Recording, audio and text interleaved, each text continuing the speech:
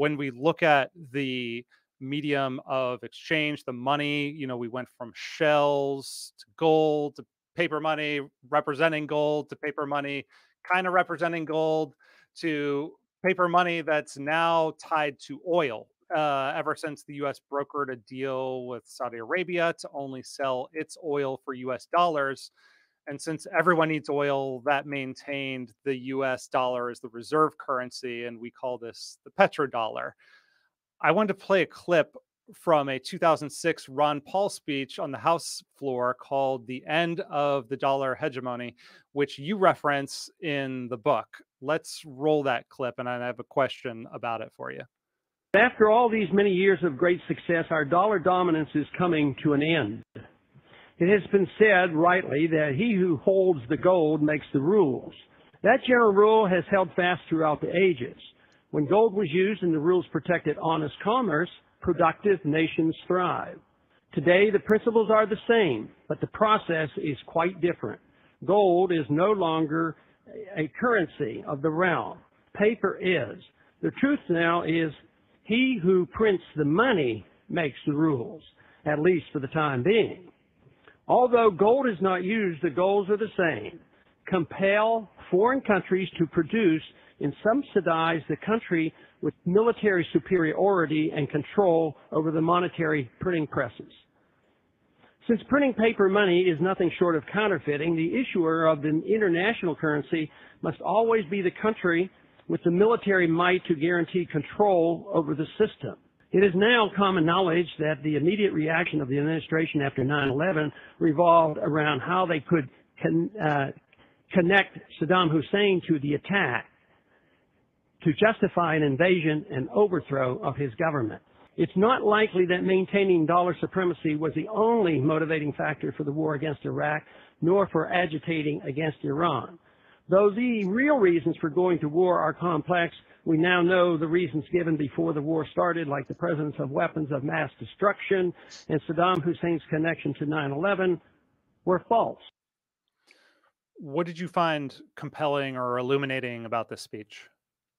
So what I found interesting is that the U.S. has a pretty aggressive history of going after countries that um, sell oil uh, in non-dollar currencies. Um, you know, there's a lot of dictators in the world, and we don't really uh, go after them. Uh, some of them even actually do have weapons of mass destruction to, to some some degree at least, and we just don't really do much other than sanction them and stuff. Uh, but the ones where we tend to have a more aggressive role are ones that try to sell outside of the dollar-based system. And so, you know, in some sense, the dollar network effect is self-sustaining. I mean, when it's tied when it's tied to the largest economy that has an open capital market, um, uh, it's got a very large existing debt base around the world, and debt represents demand for currency. It's contractual demand for currency, so you have a built-in inflexible demand source. Um, these are all kind of existing network effect supports of the dollar but it's they still feed the network effect from time to time, especially in the 70s is when they kind of uh, kind of resurrected it from having broken the Bretton Woods system. And some of these more recent ones, the reason I find this clip interesting is that it, it basically shows that the list of reasons that were given uh, to invade Iraq uh, and take some of these other actions were unjustified. And therefore, it basically argues that it had something to do with trying to maintain the, the existing money system. Hmm. Something that you, you hear from many libertarians, especially fans of Ron Paul and ending the Fed, is that once it's all about the money printer and it, it the creation of money gets so centralized that that fuels war.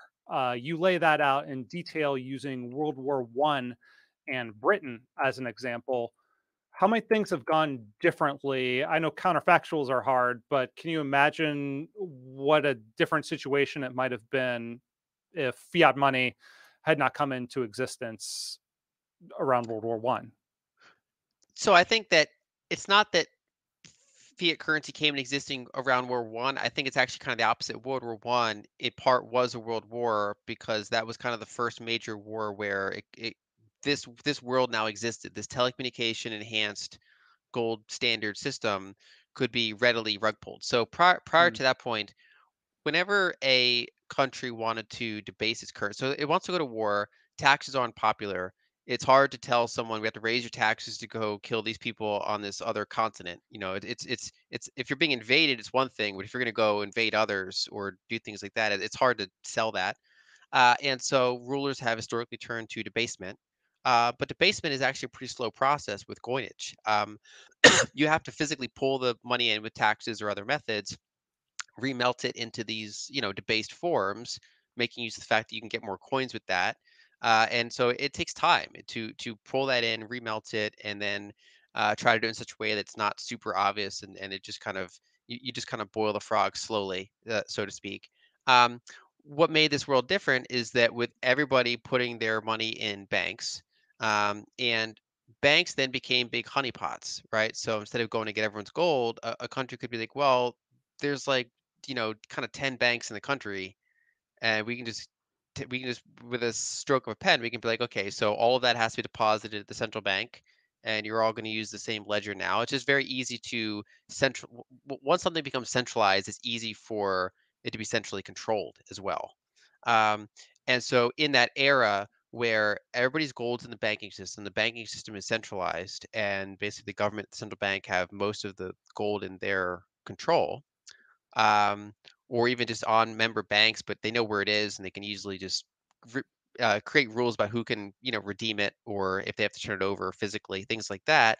Once that's all in place, literally a stroke of a pen can just say, well, all those bank claims you have are now cut in half relative to gold overnight. Uh, it's a much faster debasement process. Uh, you can even debase foreign holders of your currency and bonds very easily.